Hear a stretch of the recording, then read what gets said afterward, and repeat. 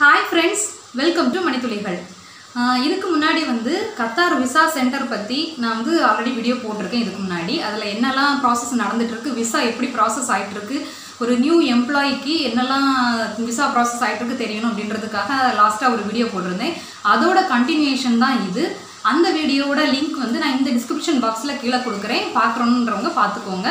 Once வந்து visa approve ஆகி அதுக்கப்புறமா என்னெல்லாம் ப்ராசஸ் நடக்கு எவ்வளோ ஸ்டேஜஸ் வந்து இருக்குது விசா வந்து அப்ரூவ் ஆகுறதுக்கு அப்படின்றத நம்ம வந்து இந்த வீடியோவில் பார்க்க போகிறோம் விசாவோட ஸ்டேட்டஸை வந்து நான் ஆல்ரெடி சொன்ன மாதிரி எம்ஓஐ கத்தார் அப்படின்ற வெப்சைட்டில் போயிட்டு விசா ஸ்டேட்டஸ்னு இருக்கும். அதை நீங்கள் கிளிக் பண்ணிங்கன்னா விசா நம்பர் கேட்டிருக்கும் ஆர் பாஸ்போர்ட் நம்பர் இதை என்ட்ரி பண்ணிவிட்டு நீங்கள் நேஷ்னாலிட்டி கேப்சா இந்த ரெண்டையுமே நீ என்ட்ரி பண்ணிட்டீங்கன்னா உங்களோட விசா ஸ்டேட்டஸ் வந்துடும் விசா நம்பர் வரும் தென் வந்து ஸ்டேட்டஸ் வரும். அதில் வந்து விசா அண்டர் ப்ராசஸ் அப்படின்னு தான் ஃபஸ்ட்டு ஸ்டேஜ் இருக்கும். அது என்னென்னா கம்பெனி வந்து உங்களுக்கு விசா அப்ளை பண்ணிட்டாங்க அப்படின்றதுக்கான ஸ்டேட்டஸ் தான் அது.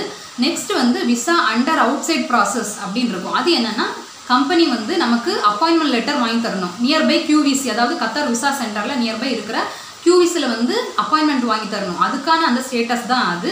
நமக்கு வந்து மெடிக்கல் நடக்கிற வரைக்குமே அந்த ஸ்டேட்டஸ் இருக்கும். ஒன்ஸ் வந்து பயோமெட்ரிக் நம்ம முடிச்சிட்டோம் அப்படின்னா வந்து அதில் ஆட்டோமேட்டிக்காக வந்து பயோமெட்ரிக் ரிசீவ்டு அப்படின்ற ஸ்டேட்டஸ் வந்துடும் நெக்ஸ்ட் மெடிக்கல் எல்லாமே அப்ரூவ் ஆகிடுச்சு எல்லாமே ஓகே ஆகிடுச்சு அப்படின்னா வந்து விசா ரெடி டு பிரிண்ட் அப்படின்னு இருக்கும். ரெடி டு பிரிண்ட்னு கொடுத்து அதை வந்து பே பண்ண சொல்லியிருப்பாங்க. வந்து நம்ம கம்பெனி வந்து பே பண்ணி அதுக்கு விசா அப்ரூவல் வாங்குவாங்க.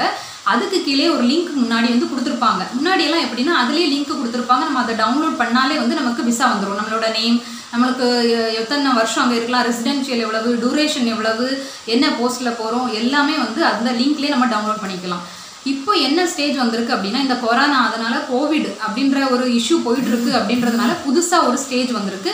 என்ன ஸ்டேஜ் அப்படின்னா வந்து இந்த விசாக்கு வந்து does not have any entry permit அப்படின்ற ஒரு ஸ்டேஜ் இருக்கும். அந்த ஸ்டேட்டஸ் எதுக்காக வந்திருக்கு அப்படின்னா வந்து கம்பெனி வந்து அப்ளை பண்ணணும். என்னன்னா எக்ஸப்ஷனல் என்ட்ரி பெர்மிட் வேணும்னு சொல்லி கம்பெனி அப்ளை பண்ணுவாங்க.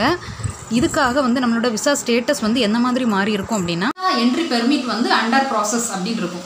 இதை வந்து செக் பண்ணி அவங்க ஓகே பண்ணிட்டாங்க அப்படின்னா மட்டும்தான் வந்து விசா வந்து நமக்கு அப்ரூவ் ஆகும்.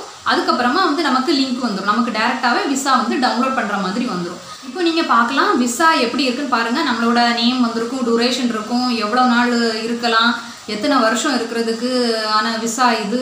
அதுக்கப்புறம் அடிஷ்னலாக வந்து நான் என்ன சொல்கிறேன்னா QVC அதாவது கத்தார் விசா சென்டர் வந்து இந்தியாவில் மொத்தமாக செவன் சென்டர்ஸ் இருக்குது நம்ம தமிழ்நாட்டில் வந்து சென்னையில் மட்டும்தான் இருக்குது சென்னையில் சாலி கிராமத்தில் இருக்குது அது அப்புறம் அப்புறமா கேரளாவில் பார்த்தீங்கன்னா வந்து நியர்பை கொச்சினில் இருக்குது நெக்ஸ்ட் வீடியோ என்ன பார்க்க போகிறோம் அப்படின்னா வந்துட்டு குவாரண்டைன் டேஸ் அதாவது ஃபோர்டீன் டேஸ் வந்து எப்படி இருந்தது?